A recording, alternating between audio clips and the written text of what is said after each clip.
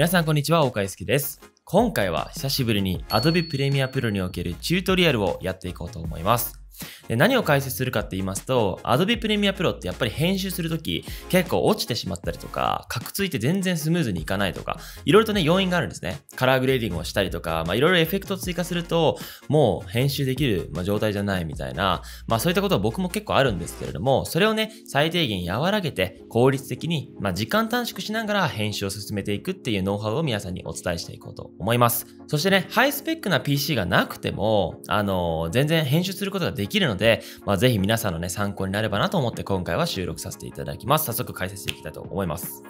はい。まあ今ね、このシーケンスに Osmo アクションで収録した動画ですね。まあ今プレビュー結構容易にできています。まあそれはね、他のプロジェクト開いていなかったりとか、まあ起動したてってやっぱり PC がね、これから頑張るぞみたいな、あの、全然負荷がかかっていない状態なので、まあこれからね、素材をたくさんつなげていくと、どんどん PC に負荷がかかって重くなってしまいます。はい。まあ、早速、えーポイントをご紹介するんですけれども、まず一つ目はですね、プレビュー画質を落とすっていうことですね。これはね、以前僕のチュートリアルもお話してると思うんですけれども、デフォルトだとフル画質になっております。これのプレビュー画質を2分の1、4分の1、8分の1みたいな感じで、落とせば落とすほど、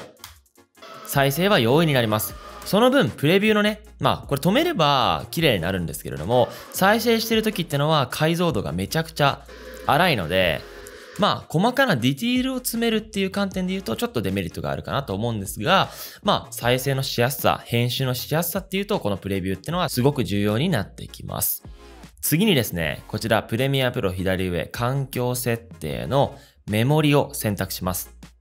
そうするとですね、このプレミアプロでどのぐらい RAM を使用するかっていう設定ができるんですね。搭載されている RAM が 16GB なんですけれども、今、他のアプリケーションで使用する RAM 数を一番低い 3GB にしております。これ、あの、デフォルトだともっと高いんですけれども、えーこれを大きくすれば大きくするほど、この次の製品で使用可能な RAM 数がめちゃくちゃ減ります。で、MAX にすると Adobe Premiere Pro で 1GB しか使えないので、こうすると Adobe Premiere Pro でスムーズな編集ができなくなるので、これを一番マイナス、えー3までですね、3GB に保って、えーこの Premiere Pro で使用できるのが 13GB と、メモリの RAM 数で少し Adobe Premiere Pro に余裕を持たせてあげるってことがすごく大事ですね。で、もちろんなんですけれども、この Premiere Pro を起動している時ってのは、他の Adobe Premiere Pro の製品だったりとか、なるべく他の、まあ、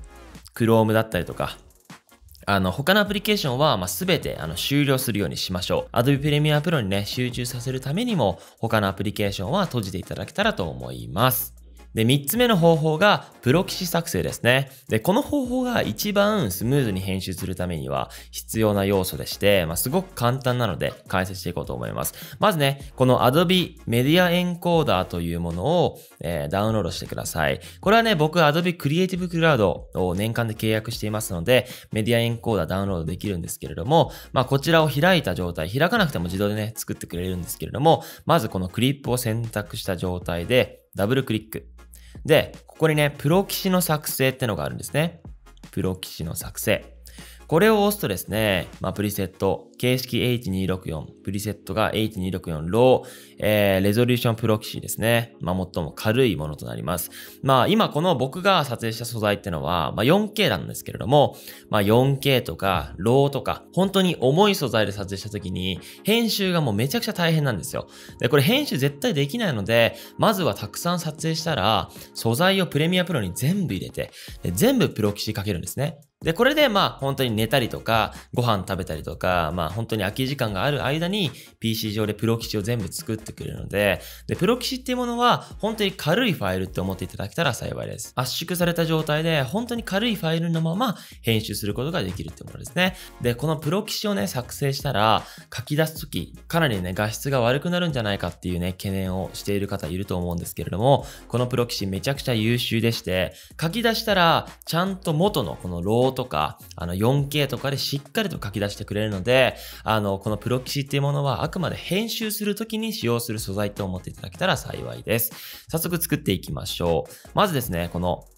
保存する場所。まあ今デスクトップって指定しているんですけれども、まあね、僕のシネマティック教材でもお話してるんですけれども、データ管理しっかりしておくべきです。えー、このプロキシーの保存する素材も、えー、フォルダをすべてまとめて統一するようにしましょう。はい、これを OK するとですね、早速、このメディアエンコーダーに素材が入ってきます。はい。まあ、こんな感じでね、素材が入って、これからエンコーディングが開始されます。で、これ結構ね、プロ棋士に時間はかかるんですけれども、あの、本当に撮影したら、まずプレミアプロを開いて、メディアエンコーダーでプロ棋士を作成すると。で、これを放置です。もうずっと。ずっと放置させて、ある程度時間が経ってから、プロ棋士を作成した状態で、いざ編集を開始しましょうということですね。で、このプロ棋士を作成するだけじゃ、まだ全然このプレミアプロでは、スムーズに再生することができなくてですね、このプロ棋士の切り替えというボタンを押してください。で、これ、この表にない場合は、このボタンエディターというものを押すと、ここに全部入っております。それから、このプロ棋士切り替えボタンを探して、このボタンを押さないとプロ棋士に切り替えられないので、気をつけてくださいと。で、このプレミアプロで、もしこのプロ棋士作成したのに全然スムーズにいかないよっていう方はですね、このメディアを押して、このプロ棋士を有効化というボタンを押してください。これが選択されていない方っていうのは、プロ棋士を適用することができないので、えー、お気をつけていただけたらと思っております。はい。で、このプロ棋士をね、作成すると、編集はもうサクサクです。もう、どんなことがあっても PC は落ちない。えー、僕の場合は落ちませんでした。なので、まあ本当にこの PC のスペックによると思うんですけれども、まあぜひこのポイントを参考にしていただけたらと思っております。やっぱり僕もね、この YouTube 上で配信するときに 4K とか、あの、ローとか、本当に重い素材で編集することがめちゃくちゃ増えてきたんですね。まあそういう時にこういったプロ基地とか、プレビューとか、あとはラム数調整とか、あとはね、本当にこの時間短縮というか効率化するためには、まあ、キーボードショートカットキーとかがまああるんですけれども、この3から4つぐらいのポイントを、まあ、意識しながら、この編集することによって、まあ、Adobe Premiere Pro って、正直めちゃくちゃ PC 落ちやすいんですよ。もうそれはね、Adobe さんにちょっと、あの、言いたいところなんですけれども、まあ、本当にこちら側、編集者側が少し意識することによって、PC に負荷をね、減らすことができますので、まあ、ぜひね、今お伝えしたことを参考にしていただけたらと思っております。で、最近ね、こういったチュートリアル減ってきたと思うんですけれども、まあ、今後しっかりと情報を落としていこうと思いますので、えー、ぜひ、あの、皆さん、この技術を学んで、えー、たくさん動画画制作をしていただけたらと思っております。はい、じゃあそんな感じでね、今日のチュートリアルも以上となります。皆さんどうもありがとうございました。さよなら。